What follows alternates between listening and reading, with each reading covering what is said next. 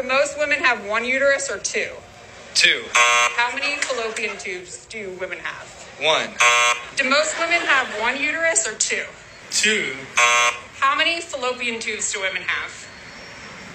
One. How many fallopian tubes does the average lady have? One. How many fallopian tubes do women have? Fallopian tubes, I'll say, uh, and I know I'm gonna be way off. I'm just gonna say four. How many ovaries does a woman have? Um, jeez. Uh, ovaries, uh, one. How many ovaries does a woman have? Six. What part of the body does a mammogram examine? Ooh, the lower half. Do you want to point like what? Like about there. What does PMS stand for?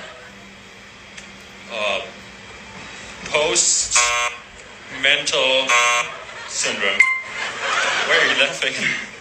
And how often does that happen? Um, like once a year at least. Where's the cervix? There. And the vagina. Oh man, okay. You're asking me trick questions. I don't know if it goes in this way or up through here, but it's either here or here. And the cervix? Is it on there? Yeah. Yeah. Yeah. Then it must be this part. Just point to the stuff that you know. Uh, that's like a baby. She's thick. What about the urethra? Urethra. That's that. Where's the anus?